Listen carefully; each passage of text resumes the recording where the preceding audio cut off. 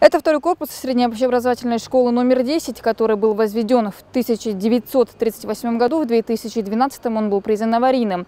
С тех пор это, на протяжении 10 лет это здание пустовало. И только в 2022 году было принято решение провести здесь капитальный ремонт.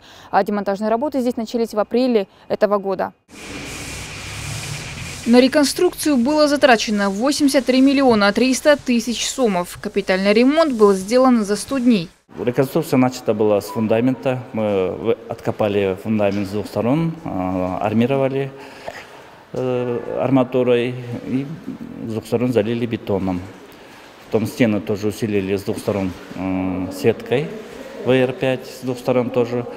Э, набрызгали торкритным методом бетон к стенам, усилили проемы оконные дверные, покрытие, перекрытие поменяли на металл, металлические балки крышу полностью поменяли на настил.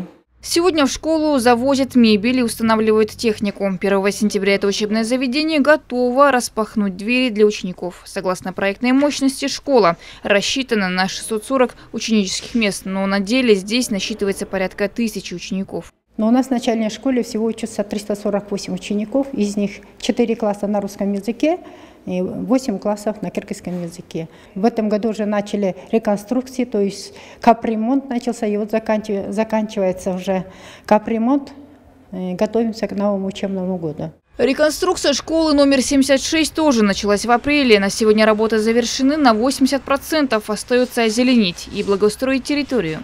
Электрику уже закончили, э, вентиляция идет, работы. И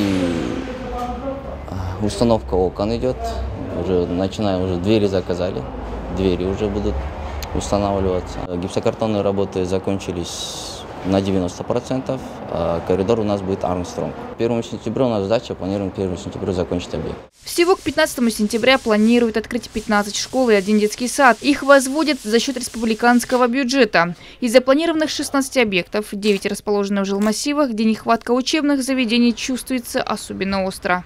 Кундус Катаева, Синтера Бакеев, Алато 24.